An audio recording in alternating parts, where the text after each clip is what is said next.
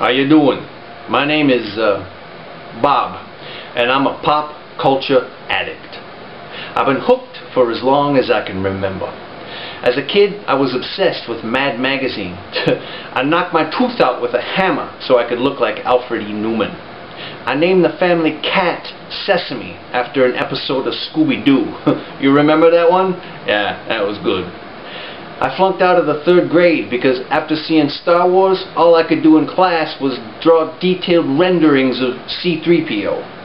Boy, I discovered Kiss at age 12, my life was forever changed. You know, Ma used to wonder why her makeup kept disappearing. Until one day she caught me in full kabuki face paint, rocking air guitar to Dr. Love in the bathroom mirror, if you know what I mean. No wonder she sent me to live with Pops. In the 80s, a lot of people try to distance themselves from that decade. No, not me. I embrace it wholeheartedly. Hey, you remember this one?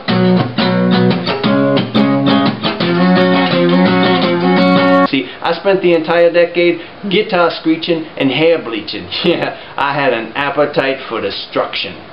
Now that all changed in the 90s. I'm not talking about grunge. I'm talking about pulp fiction. Boy, after that flick, I started rocking Jheri curls and peppering my speech with F-words.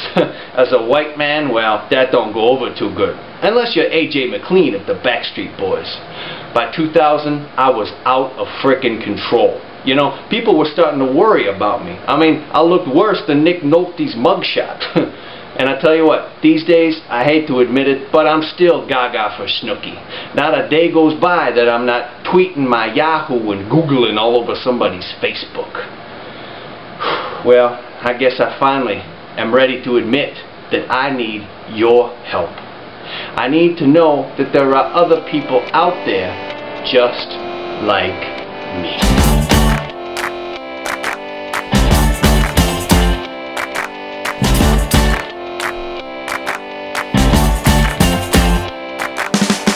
Press trigger, me no press people button.